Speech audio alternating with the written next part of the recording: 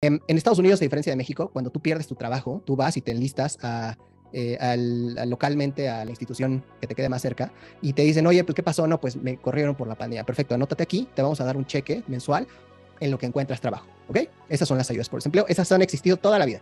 Pero eh, en la pandemia tuvo un muchísimo mayor auge porque las ayudas por desempleo eran más altas que los sueldos que ganaba la gente allá afuera. ¿ok?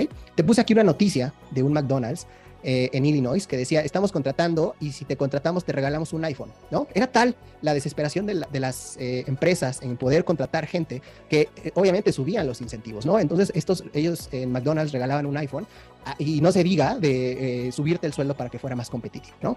La gente empezó a dejar de trabajar por recibir las ayudas de desempleo. Ahora, ¿eso en qué se traduce y por qué te lo estoy diciendo para nuestra plática? Si tú no sales y aparte ganas más de lo que te paga tu chamba, pues estás acumulando más riqueza, ¿no? Estás ahorrando más, eh, tienes más poder adquisitivo y si no sales y demás, pues eh, te estás juntando de, mucha lana, ¿no? Eso fue lo que pasó en Estados Unidos.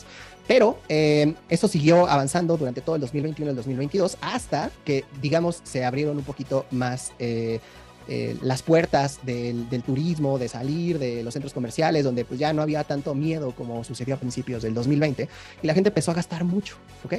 empezó a gastar tanto que los precios comenzaron a subir. Y es ahí donde viene el, primer fenómeno de la inflación.